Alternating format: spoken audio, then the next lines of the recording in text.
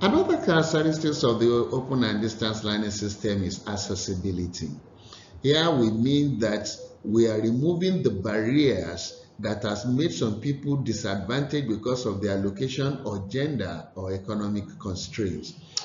a good example here is, is the issue of the prisoners.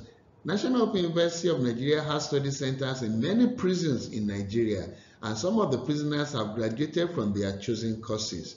So this means that unlike before, when a prisoner has no access to education, in Nigeria today, prisoners can have good education.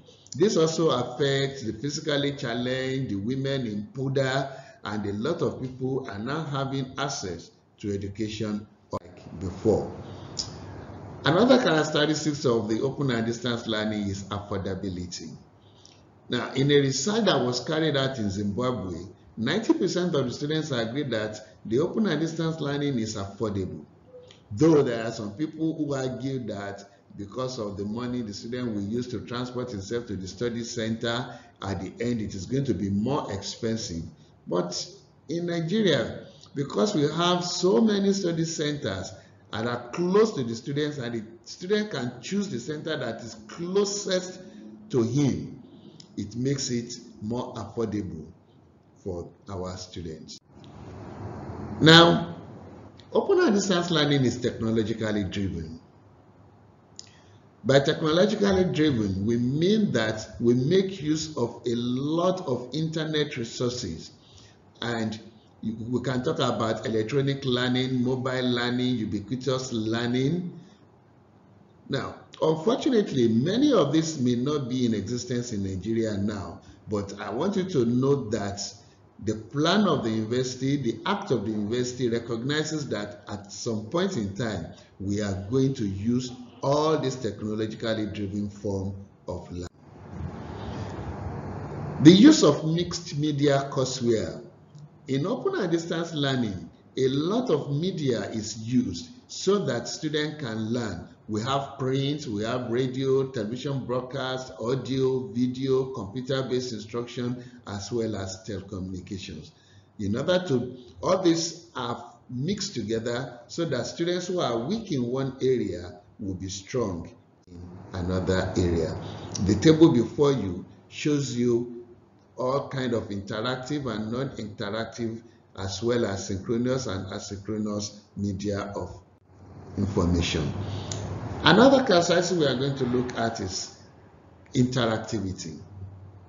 One of the major criticisms against the ODS system is the lack of contact between students and lecturer on one hand and between learners on the other hand. And the only way this problem can be removed is by making their course interactive. There are two kinds of, uh, a, a, kind of interaction that occurs between two or more objects is what we call in, an interactivity and it creates some kind of impact. Interactivity is silent, critical, creative conversation within a student's mind that is spurred on by the learning environment. There are four kinds of interactivity.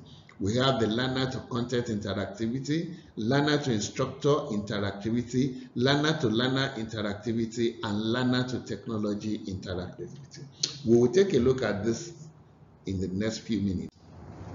Now, learner to learn content. This is the interactivity that comes when learners study or examine the course content and other instructional activities.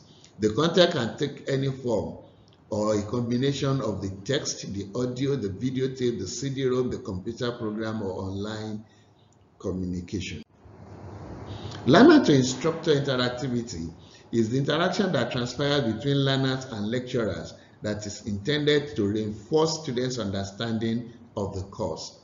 As you're looking at me, facilitating you is a form of learner to instructor interactivity. Apart from this, by the time I begin to give you feedback on and, and give you assignment and tells you where you are weak and where you are strong, you will see learner to instructor interactivity in action.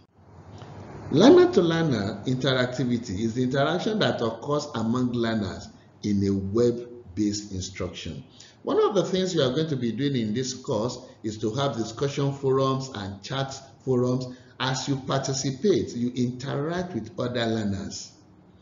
And you see, you have to participate by writing your opinion, by responding to other people's opinion, by criticizing. And so uh, when you do this, and you make your fellow learners to talk with you, to respond to you, you have created learner-to-learner -learner interactivity. And the last one is learner-to-technology interactivity.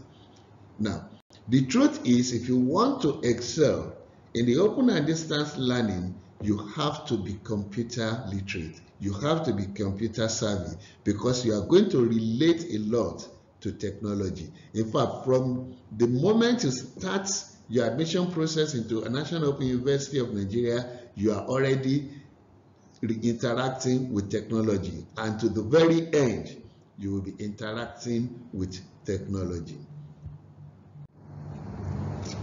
Now, another characteristics of the open and distance learning is the fact that it is learner-centered.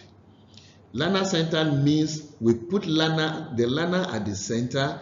Our focus has shifted from the teacher to the learner. So look at this table. this diagram shows you the difference between a learner-directed teaching and a teacher-directed